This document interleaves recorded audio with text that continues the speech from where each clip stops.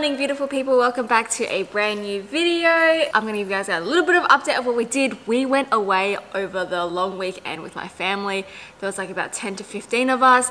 Had so much fun, but we had no reception at all. Honestly, I didn't think that we would have no reception or anything, but that's what happened. It was really good to just get away without having to check my phone. I didn't look on Instagram, social media, nothing for like two and a half days straight, which was great and we just had a little fun quality family time. But today's video, as you probably saw from the title, I'm gonna be doing a little bit of embroidering, but we're gonna make something together. So I have this blank sweater right here.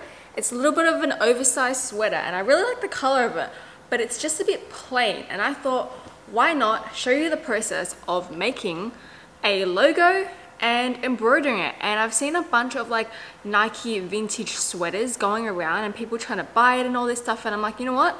Since you can't buy it or I haven't really checked that much to be honest I'm gonna just try embroider one and all the people that are being like copyright and all this stuff please don't come for me. I'm just doing this for fun. I'm not selling it or anything. Just want to make it and see how it turns out. So let's head to the computer. I've done like a little bit of a mock-up. I'll show you roughly how to digitize it and let's make this sweater this right here is the logo. What I actually did was I made this on Photoshop. So I got the Nike tick off Google and with the text, I just wrote the words Nike, found a font that kind of looks like this old school English text that's kind of vintage. And then I layered it, did a bit of a stroke. This would be probably another video if you guys want me to show you how we roughly make quick logos. But all I'm going to do is I'm going to open my embroidery file thing. So I use Wilcom by Hatch. It's quite expensive, but it's honestly so easy to use. And here is my logo. So all I'm going to do is I'm going to just drag it in and hope that it works.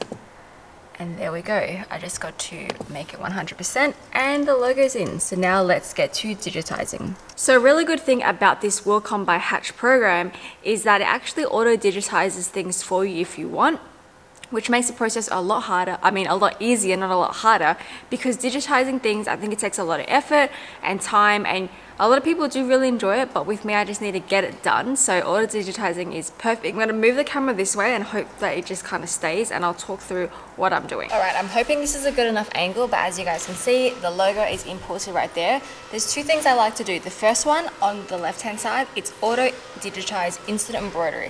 Now this will instantly obviously just do it for you. Sometimes I like to check just to see if it will work.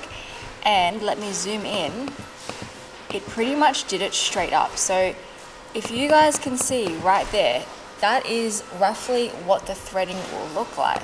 So sometimes this will work, sometimes it won't work. If you have like a really complex design, usually it doesn't, but because this is just an outline, it's gonna work usually.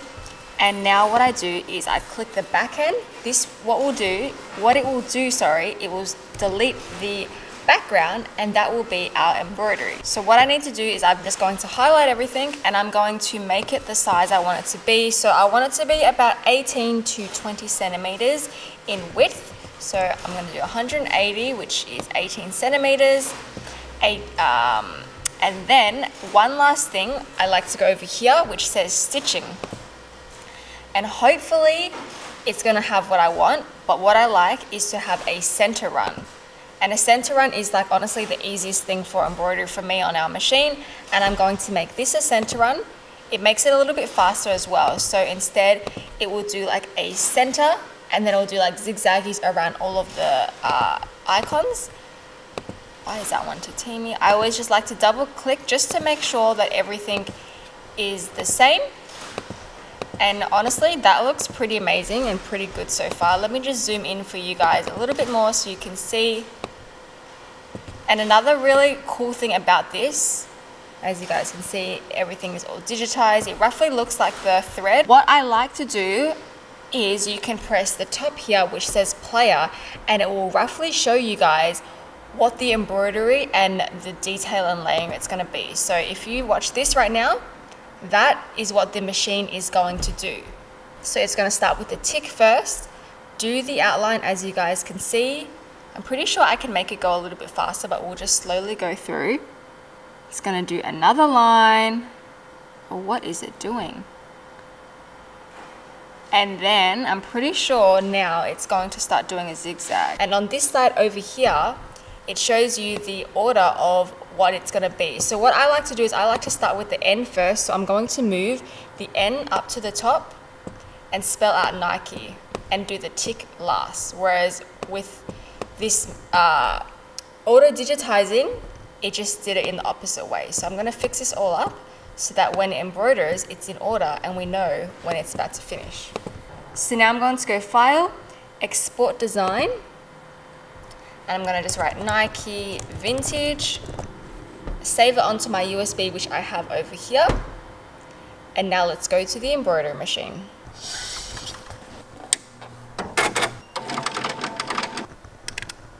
I'm going to go File, and I'm going to find the Nike design, which should always be at the very end, right there. You guys can see Nike VI, and I'm going to press this one, which will save it to the machine. And also you can see that the Nike logo is right there. And so once it's saved to the machine, I go to the machine, scroll all the way to the end, and then I'm going to put that there. Okay, and she's done and ready to be embroidered. Okay, let's hoop everything up. Today we'll be using this hoop size which is 20 centimeters by 15 centimeters. So I've got the logo as I said to be 18 centimeters in width and height in proportion. I could do it bigger but the bigger the logo obviously the longer time it will be and because I am quite small I think this size of a logo on my jumper will be fine. So I always use this little like measuring t-shirt jumper holder. You put it in like a coat hanger. It just is the shape of that. Comes down, it shows you where the center is, shows you where to kind of place everything. But what I also like to do is have another ruler going across so I can mark with my water soluble pen. This is not the one actually, this is totally just a normal texter. But I mark here, here, and then I will mark the center. So let's do that. The reason why I like to do these marks on either side is so when I'm hooping it, I know that my hoop is straight and not on an angle because we would hate if the logo was lopsided. Now I'm gonna grab my pin and I'm going to mark the center of the jumper so that I know and I'm also going to mark where I want the logo to be. So usually I like to have things about 10 centimeters to 15 centimeters down. So I'm going to do, for this one, I reckon 12 would be quite nice. So as you see there, I've got my center point where I know to put the logo when it gets in the machine. Now I grab my magnetic hoop. This is very, very strong to be honest, quite scary as well. Put this underneath. Take this t-shirt thing. It's honestly so good. I got this I think for $35. You can get some a little bit cheaper from eBay and stuff, but I was just supporting this local business. And now we just hoop this. I try and make the bottom underneath hoop, which is in here right now, as straight as possible so that when I put this top one on, it kind of just goes.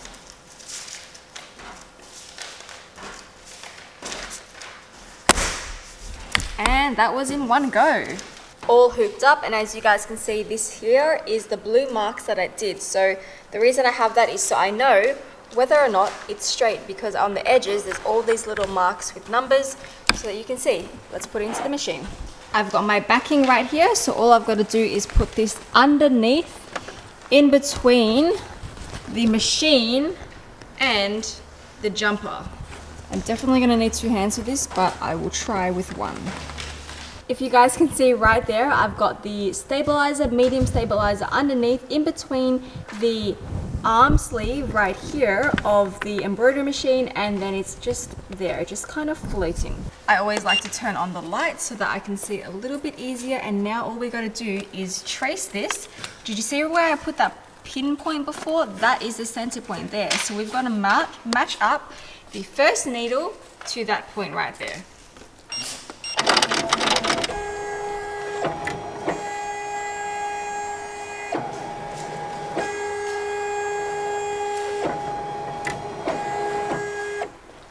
So it is pretty close, but still a little bit far down. So now I've got to just continuously move the machine up a little bit and find the center point. I'm just going to move it to the left a little bit more. and that is pretty good. Now I'm going to trace it one more time just to make sure that the needle will not hit this edge bit because if it hits this edge bit, the machine is game over. Okay, I'm definitely cutting this very, very close. I should probably make the logo a tiny bit smaller, but I want it to be decently big-ish. So I'm just gonna keep it as is and press play on the machine.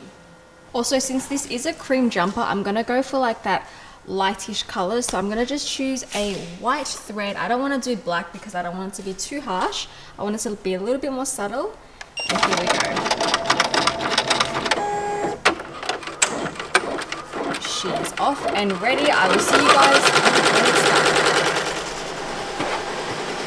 The time right now is 1.36, so we'll time it and I'll show you guys how long it takes until the Nike logo is finished.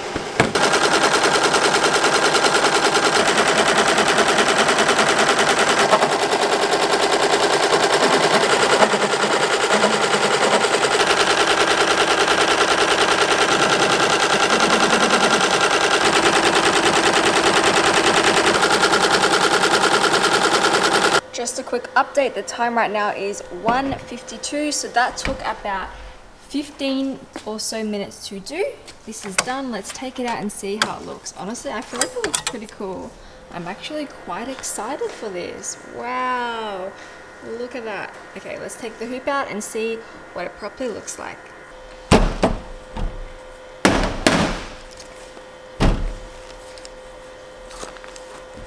I've got the backing right here, which I need to take off.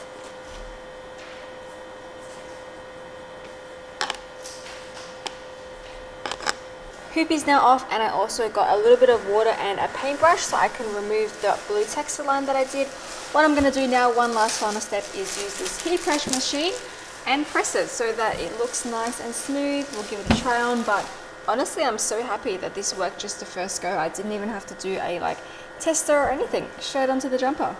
Dun, da, da, da. This is the jumper. I don't know if you guys can fully see because it is white and it's quite bright behind me, but honestly, I am so happy. It really does look like a legit Nike jumper, although it's just a replica. I'm gonna try it on right now and see what it looks like.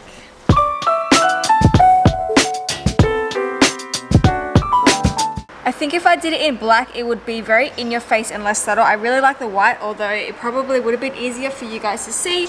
But yes, this is what the jumper looks like. Take maybe a few B-roll shots. I think I'm gonna end the video here. This is us making a jumper together from the very start to the very end. This is the final product of what it looks like. I hope you guys enjoyed it. I don't know, I really, really like this. I'm so, so happy with how well it turned out.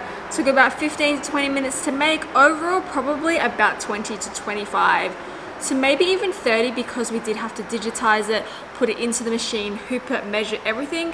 But yes, that's a little insight. I hope you guys enjoyed this video and it was helpful. If you want to see more of us making other types of like different logos and stuff, let me know. Or just other sewing things, embroidering things and all that. As always, don't forget to give this video a big thumbs up and I will see you guys in our next video. Bye guys!